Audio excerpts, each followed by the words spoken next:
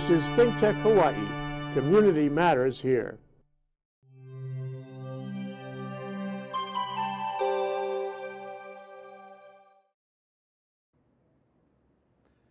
Aloha, everyone. My name is uh, Mitch Ewan, um, and welcome to uh, our show, Hawaii, uh, the State of Clean Energy. I have the privilege of uh, standing in for Maria Tome, who's the uh, regular senior host, and I'm usually the junior host on this uh, program, so I'm jumping in at the deep end of the pool. So please bear with me. So today we'll be uh, talking about wave energy, and if we've been driving around the streets of Honolulu the last few months, we've seen a lot of waving. So, but I'll let you off the hook. This was our little joke that we put together before we started the show. Uh, we are going to talk about wave energy in the ocean. And I'd like to welcome our guest, uh, Dr. Pat Cross from the Hawaii Natural Energy Institute, who is the Wave Energy Test Site uh, Program Manager. So Pat, welcome to the show. Good to be here. So I'm still going to do my opening monologue here. Um, one of the things we want to do is to highlight uh, UH and HNEI technology uh, because I don't think the general public understands or has good insight into what we are doing to try to solve um, problems that we have for society in general. And the university has very active programs and some of our guests that will be appearing here have been supporting um, uh, new technologies to solve our problems. And in this case, it's energy and how we can capture uh, energy uh, from waves. So that's the end of my opening monologue. So Pat, uh, first of all, how about giving us a little bit of background, your background uh, before you came to HNEI? Sure. Uh, I was a career U.S. Uh, Navy officer, right. submariner, oceanographer. Finished my, my last tour in the Navy was as the oceanographer for the submarine force here at Pearl Harbor. Right.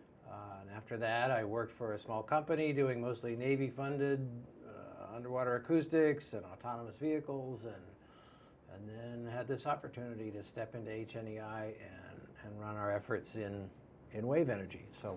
So how long have you been with uh, us at HNEI, Pat? Five years. Wow. Five long years. Five long years. well, they go by quickly, don't they?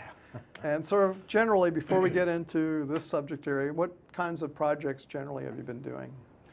Well, what we're going to talk about today has definitely been the lion's share of my focus the whole five years. Right. Uh, really focused on on supporting the Navy's wave energy test site. I've dabbled in a few other things uh, relating to OTEC, ocean thermal energy, uh, seawater air conditioning. Worked for a little while in support of some uh, photovoltaic research. Right. But primarily, it's been this wave energy focus, and specifically focusing the Na- uh, uh, supporting the Navy. Right. So I know a little bit about Pat's projects. Uh, they're really cool projects, actually. It's, the one we're going to talk to you about is uber cool. And so to start it off and show you, give you an impression so that we're just not talking heads up here, uh, HNEI uh, funded a, a short uh, video produced by Royer Studios uh, out of uh, LA. It's professionally done. So can we roll our wave energy um, video, please?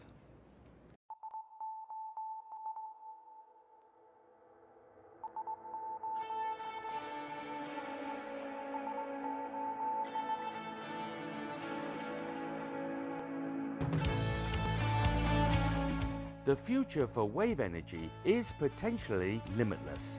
And while it's understandable to think that the generation of electricity from wave energy is something that works best in rough seas, such as the North Atlantic or the coast of the northwestern United States, there's also strong potential for the use of wave energy generators in much less energetic environments throughout the world.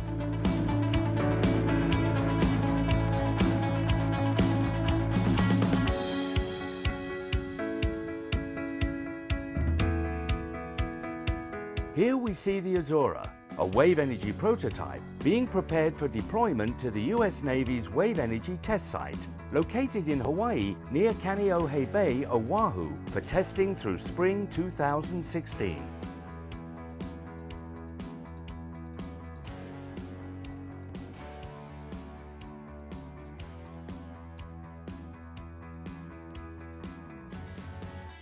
Being developed by four independent companies whose projects have been approved and are supported by the US Department of Energy and the US Navy. The Hawaii Natural Energy Institute is responsible to the sponsors for data collection, analysis and reporting as a means of independently evaluating the technology's performance. HNEI is also carrying out environmental monitoring to assess potential impacts these devices may have on the environments where they're deployed. Four of the planned five devices are what are called point absorbers, which are essentially an ocean buoy designed to move around in the waves, and the different companies have different approaches to converting that movement into electrical generation. The Azura device is a pair of vertical spars with a large heavy heave plate at the bottom underwater and then a, a, float that extends between the two vertical spars and moves with the waves and converts that movement to electricity.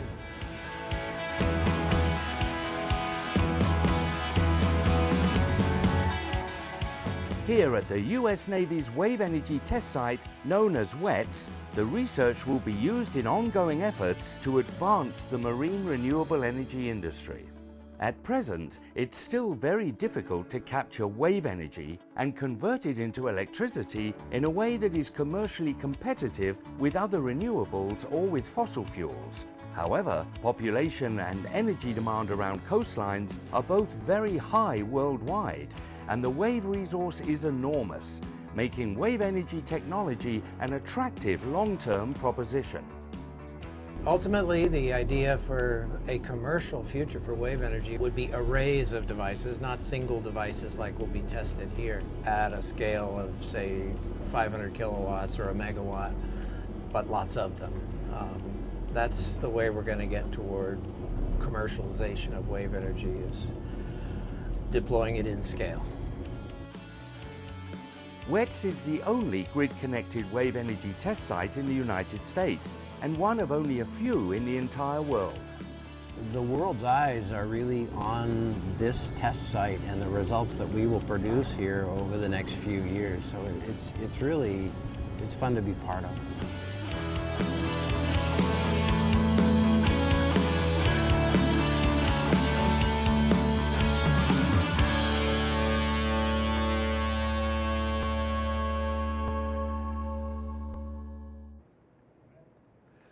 Okay, uh, I hope you all enjoyed that video. And one of the things that struck me um, uh, looking at it uh, was the actual size of these buoys.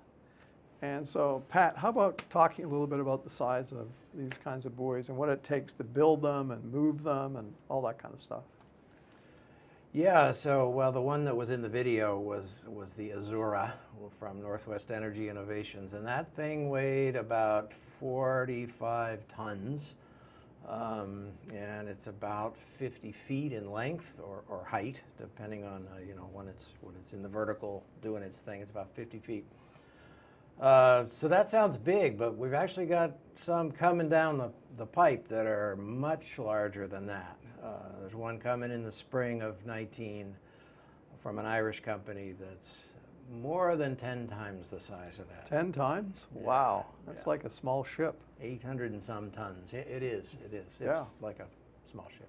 Very, very good, yeah. Yeah. So um, one other thing I wanted to talk about uh, before we uh, pull up your slide is, um, can you talk about the um, permitting and the layers of permitting that are required to put in a test site like this here in Hawaii?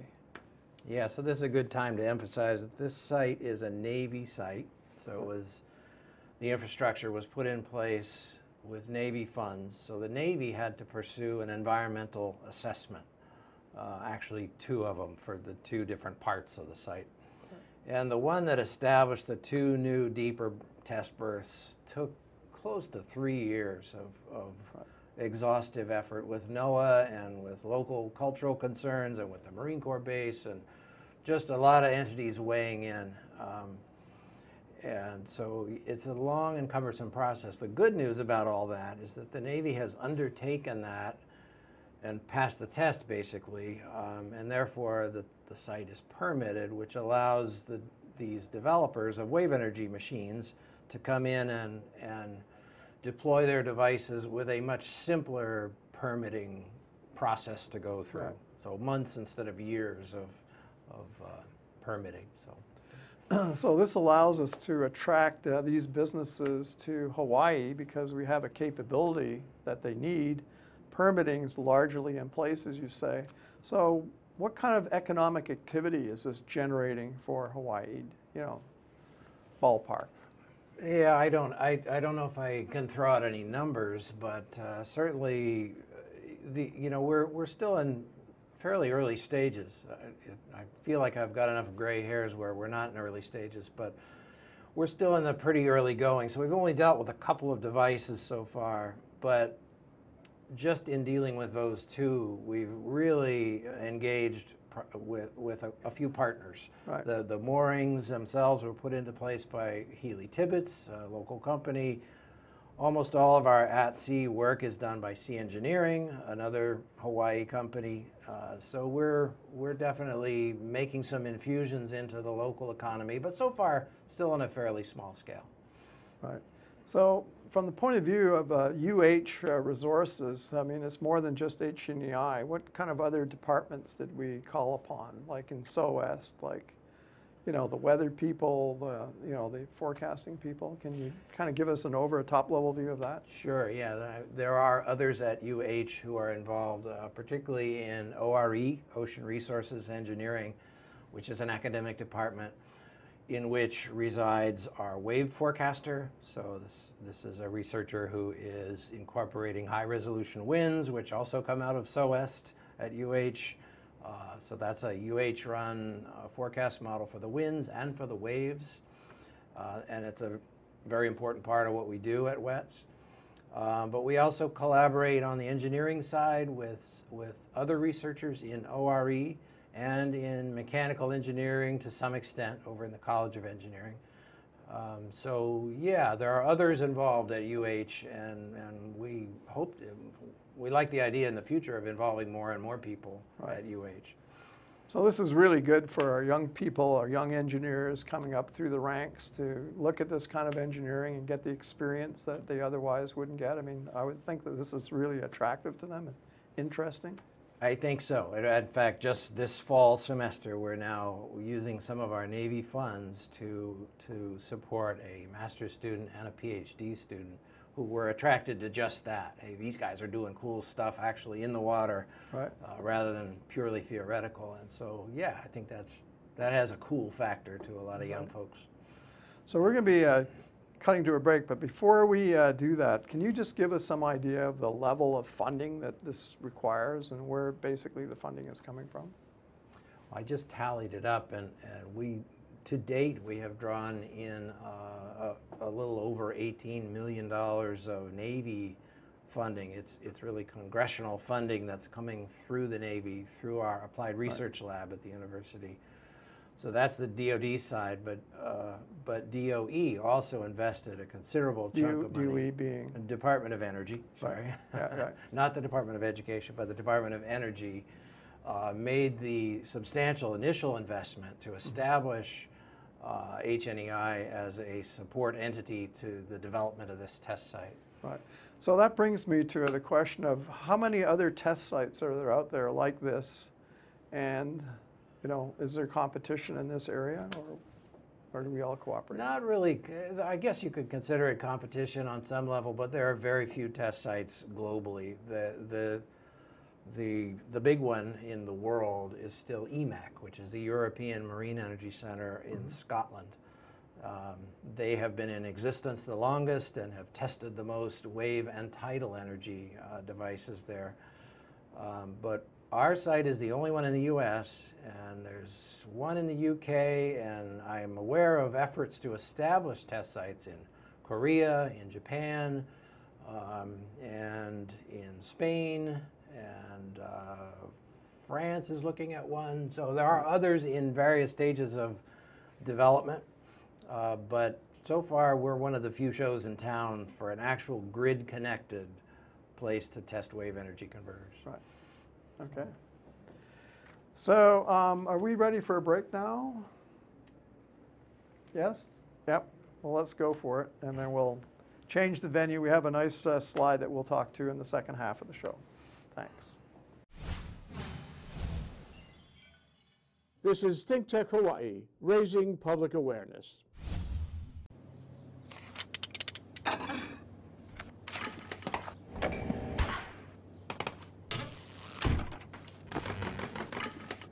If you're not in control of how you see yourself, then who is? Live above the influence. Living in this crazy world, so caught up in the confusion, nothing is making sense for me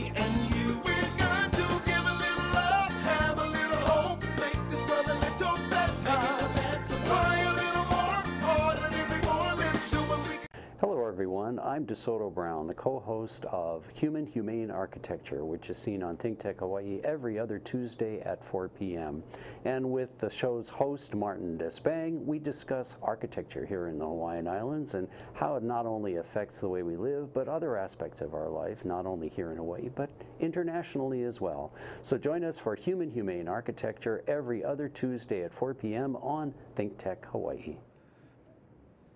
So welcome back to the second half. Um, Rich, could you uh, put up our one and only slide? We didn't want to kill everybody with death by PowerPoint, so we have one slide that covers a lot of ground, and I'm going to ask uh, Pat to uh, walk us through this slide. So starting at the whatever you want to start, just tell him where you want to be, and then he can kind of zoom in on that part of the slide. Um, well, okay, sure. Uh, so this is a slide put together uh, uh, recently to, to just kind of capture everything about the, our work at the test site in one slide, which of course is, is difficult to do, but there's some highlights on here. That basically in the upper left, you have a little map that shows where the three test berths are. So the, the test site consists of, uh, of three berths at 30, 60, and 80 meter water depths for testing different sizes of wave energy converters.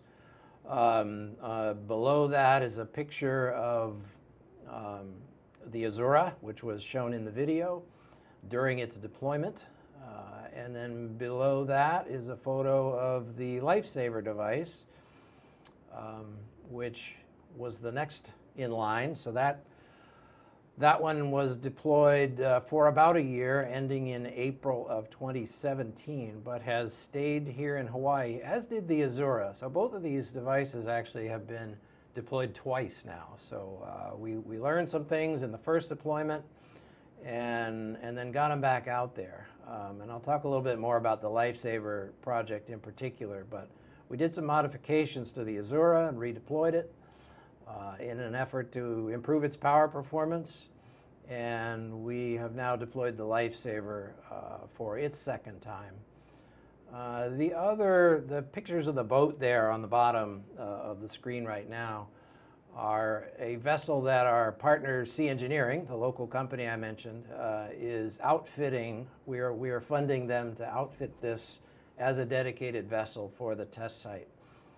Um, so that project is under, underway and is actually nearing completion. Um, these pictures are a bit out of date, but So that's being outfitted here in Hawaii, so it's Yes. like, I'll push the business side, so that's business for our local shipyards, yes? yeah, yeah, I Yeah, mean, okay. that work is happening right in Honolulu. Okay. So we still have some more pictures, or is that it? Uh, I can talk to some of the other graphics on there if Yeah, inter- please. like well let's see at the top right the, the the instrument there and the and the graph to its right kind of represent one of the bigger things we do in in terms of environmental monitoring which is uh, which is acoustics so one of the permitting concerns about these things is do they make harmful sounds that, that could uh, be damaging to marine mammals or fishes or other, or other critters out there in the ocean. So we collect acoustic data, uh, which to date, with the two devices, uh, really has made the point that these things don't make a ton of noise. Uh, Right. So far, we're well below any thresholds of concern. Uh, But we'll continue to monitor that as larger devices with more power output come, come along. Um, the graph with the bars there is just representing a, uh, another aspect of what we do to support the test site, which is develop power matrices. So, so a wave energy converter, unlike a wind turbine where you have a power curve, um, with waves, your power output it depends both on the period of the waves and the and the height of the waves. So you have a power matrix, and so that's we generate a, an independent power matrix for each device that gets deployed. Um, and I think that's probably good enough for the for the slide.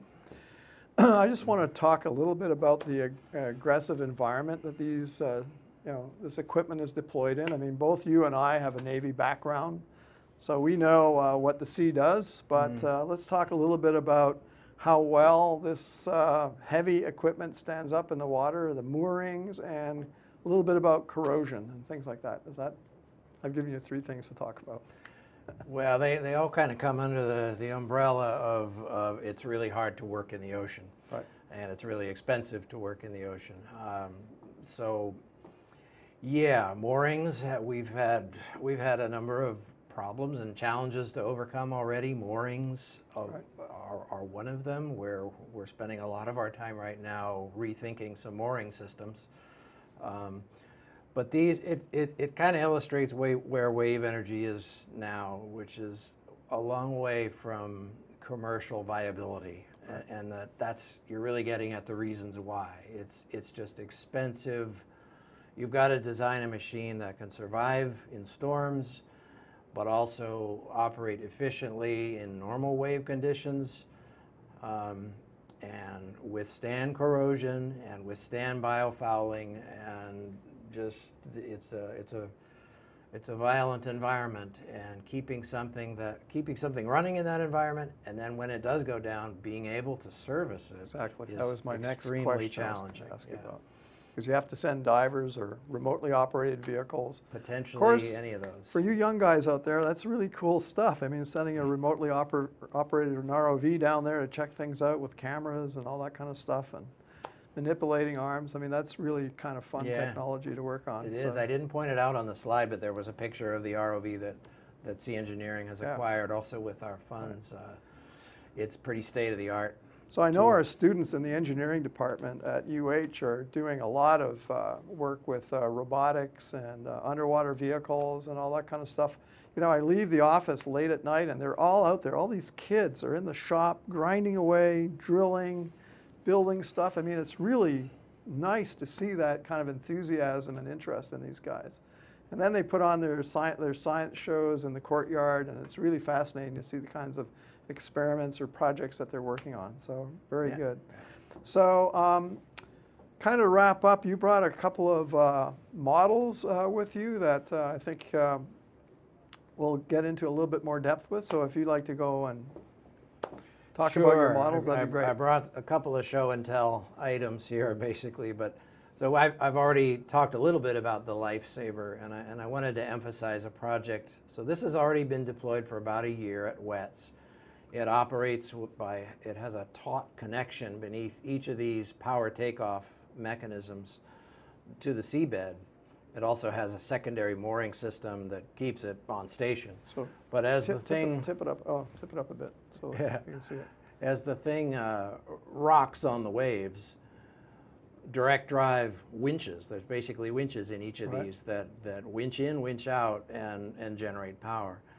So that's how the device works in a nutshell. So we're redeploying it this time to correct some issues that weren't done optimally the first time with the tautness of those connections. There were a little bit too much play in them the first time.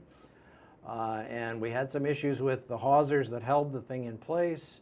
So that caused some failures of those connect vertical connections. So anyway, we think we learned enough to make this a bit more reliable and a bit better in terms of power performance Right. uh, the second time around. But what's really cool is right here by this house, the power for this particular device was just burned off in the first deployment. We didn't do anything with it. But now we've installed right here where there would be a, a fourth one of these power takeoffs. It can host as many as five.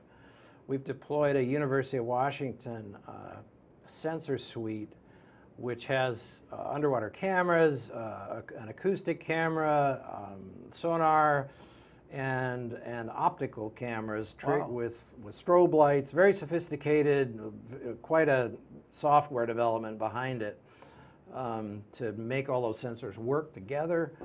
Um, and we also incorporated a subsea inductive, uh, meaning wireless charging capability. Um, Wow, how does that work? So all this is lowered through the hull of the AMP, or sorry, of the Lifesaver. The, the system is called AMP, which is the adaptable monitoring package. So it's all lowered through the hull and sticks out and is sensing the ocean now as we speak. So we just deployed this thing. So we just redeployed the Lifesaver um, with this feature, and it is getting all of its power from the wave energy converter itself. Right. So we're not plugged into shore. We're actually using wave power to do something of interest at sea. And the subsea charging thing is of a lot of interest to a lot of people. Just that you, you mentioned autonomous vehicles and how do you get power to autonomous vehicles? In general, you don't. You recover them and you charge their batteries and you put them back in. So wouldn't it be cool if there was a mothership that they could go to Right. and offload their data and charge up? And that's so that's that's the root of that project. Uh, I, I'll just show this one briefly. This is the, the one I mentioned from the Irish company. It's a wave energy converter that's coming to us in the spring. And despite its small I- size I- in mind- Irish Spring, yeah. Irish Spring, good. You go, yes, yeah. yes, yeah. They should paint it green and white.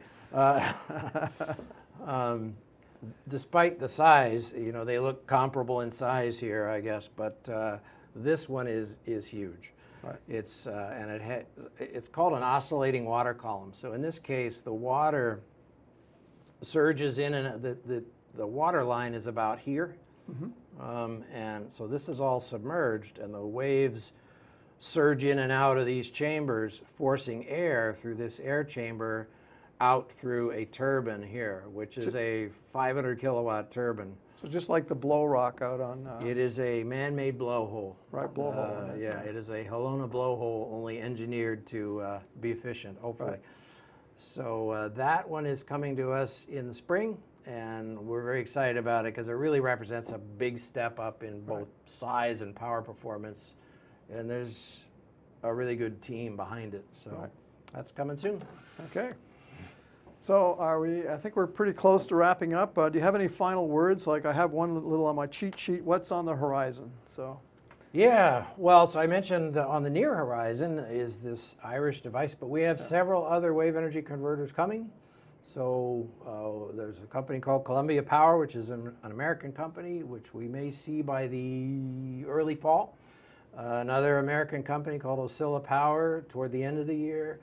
Uh, and then uh, two or three more behind them that are Wow. coming in 2020 and 2021.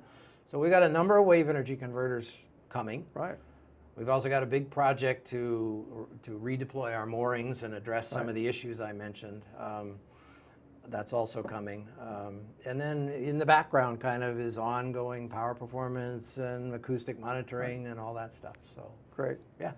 Okay, well, Pat, thank you so much. Cool. Really appreciate it. to and be uh, to our audience out there, especially you young engineers, uh, I hope this has given you some ideas of what uh, you might be interested in doing with your career and helping Hawaii uh, become energy uh, independent. So with that, I'd like to say aloha, and we'll get back to waving. Ah, wave. yes. Waving. With great energy. Thank you. Yes,